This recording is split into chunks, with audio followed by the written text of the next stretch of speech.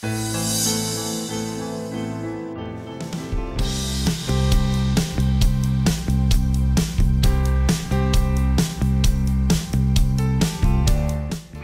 I'm Subbarao Bhagavatula. I'm working for Wells Fargo Technology. I'm having 13 plus years of experience in the IT industry. From long time, I'm thinking of doing a course on machine learning and artificial intelligence.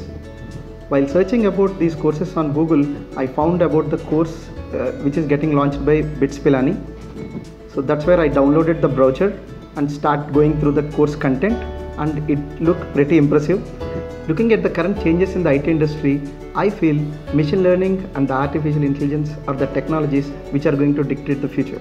So for any IT guy, it will be tough to take a break in the career and attend regular courses. So when I saw online classes from Bits Pilani and that too over weekends, I think it's really uh, make me more excited to be part of this course. The good thing which I like about this program is uh, you can watch these videos any number of times whenever you are free. And uh, th- this really helps in two ways. You can uh, watch the videos until unless you got familiar with the content. At the same time whenever you got free throughout your week you can complete the course. The moment we complete the online class there is a discussion forum that is available where we can put in all our doubts these queries will get answered by professors instantaneously. I really like the way how professor banamurthy sir used to handle the classes. So he always used to answer the queries uh, till the point we understood the concept very clearly to the core.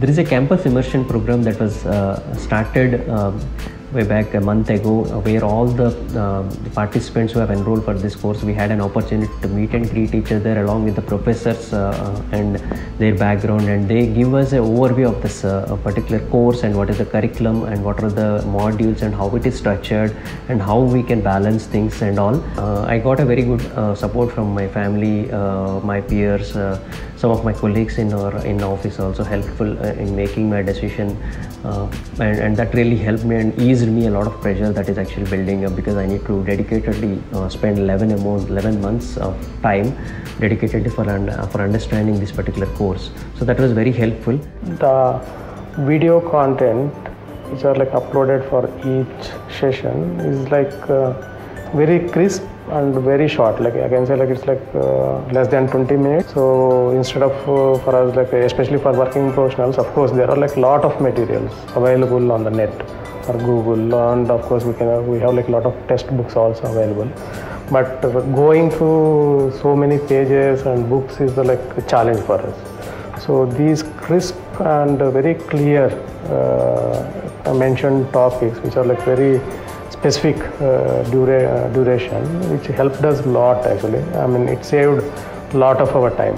So that's the reason I can say that definitely I can recommend this program, uh, my peers, colleagues, as well as for anybody who are like interested or like serious learners.